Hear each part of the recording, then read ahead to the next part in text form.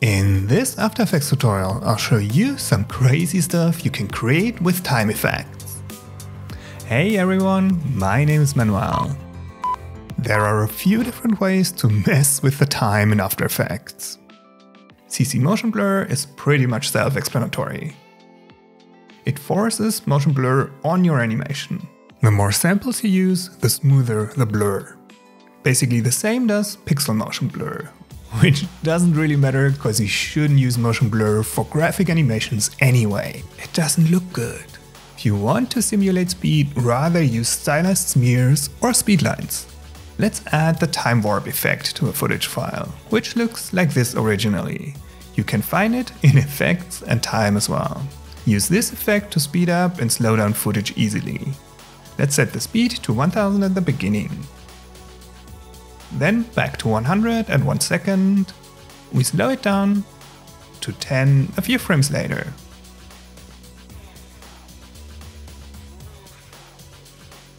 If you enable motion blur and increase the shutter samples to let's say 30, it creates these cool smear effects. The time difference effect calculates the color difference between two layers, in this case the same layer at a different time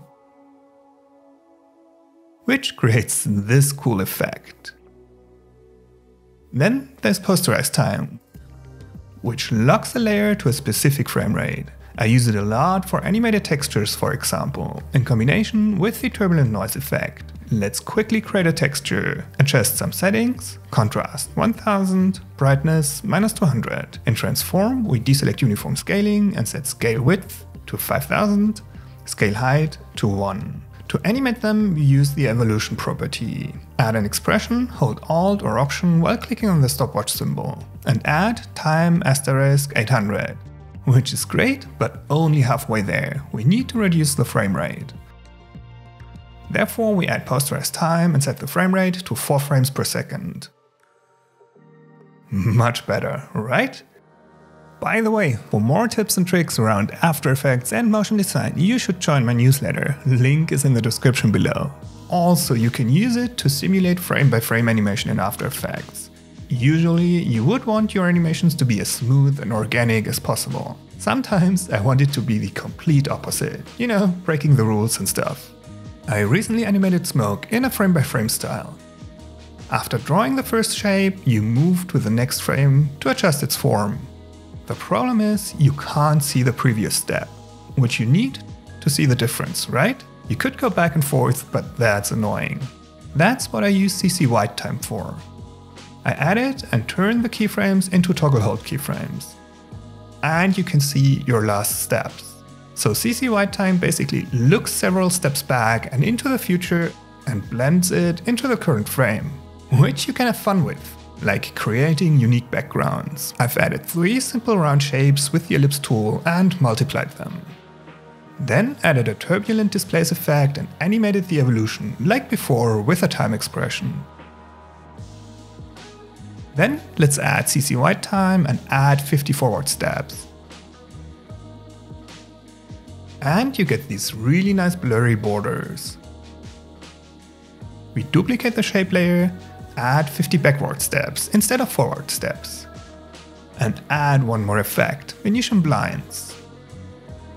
We change the direction, adjust the transition completion 10, and set the width to 10. We get scribbled areas here along the borders. The echo effect combines frames from different times in a layer, which creates awesome effects on video footage. We set number of echoes to 50 and set echo operator to maximum, which looks like that. I've animated the position of this shape with a wiggle expression. Let's add echo. We change the echo time, set it to minus 0,010. Number of echoes to 1000. Decay to 0,95 and we created a procedural worm-like shape. If you right-click on a layer in your timeline, there are more options. Time reverse layer. Well, that should be clear, it plays backwards.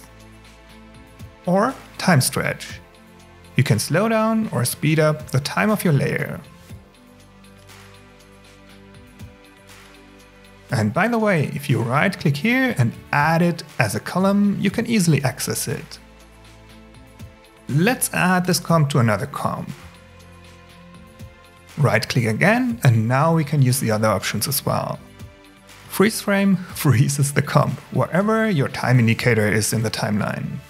Freeze on last frame is great if your comp is too short and you want the last frame to be visible till the end. Let's enable time remapping, which you can use to retroactively change the timing of your animations. You can speed them up or slow them down. You can adjust the start and end time, and even adjust the speed graph in the graph editor.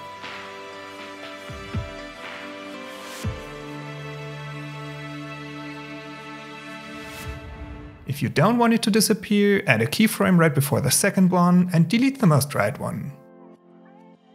I completely left out one effect, time displacement.